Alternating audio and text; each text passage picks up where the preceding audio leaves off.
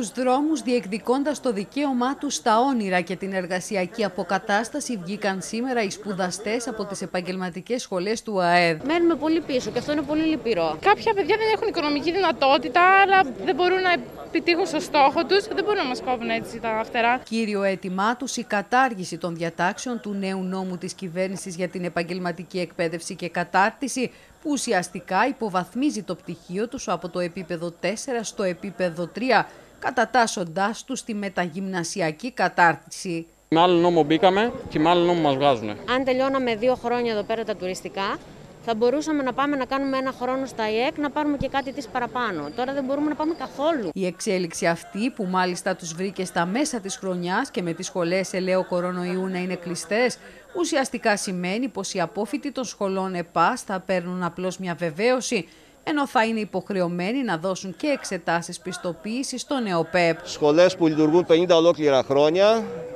που, που έχουν προσφέρει στην τοπική κοινωνία θέσεις εργασίας και ξαφνικά ο νόμος αυτός τους καθιστά με επαγγελματικά δικαιώματα επίπεδου 3 τα οποία είναι αχαρτογράφητα, δεν έχουν ακόμα καθοριστεί τι θα είναι. Αντιμέτωποι με την ανεργία είναι και οι καθηγητές των σχολών στην πλειοψηφία του ορομίσθη. Εκπαιδευτικοί με πάνω από 20 χρόνια προπηρεσία που περιμένανε κάποια στιγμή να μονιμοποιηθούν όπως συμβαίνει σε όλη την Ευρώπη, όπως συμβαίνει στα υπόλοιπα κράτη, δεν θα μονιμοποιηθούν ποτέ σε ηλικία 50 και 60 χρονών όπου δεν υπάρχουν ούτε βάουτσερ για να τους καλύψουν θα βρεθούν στην ανεργία. Για πόσους καθηγητές μιλάμε τώρα σε επίπεδο Ηρακλείου; Στην ΕΠΑΣ μόνο είμαστε 40 άτομα και στα ΙΕΚ τα οποία και αυτά κινδυνεύουν με τον νέο νόμο είναι άλλη τόση. Αντιπροσωπεία των σπουδαστών και των καθηγητών τους επέδωσαν ψήφισμα με τα αιτήματά τους στον Αντιπεριφερειάρχη Ηρακλείου. Θα μελετήσουμε τα αιτήματά τους και στο βαθμό που μας ε, επιτρέπεται θα γίνει παρέμβαση στα αρμόδια, στους αρμόδιους φορείς. Στο πλευρό των σπουδαστών, κόμματα, σωματεία και συνδικάτα που ζητούν από την κυβέρνηση να αποσύρει τις συγκεκριμένες διατάξεις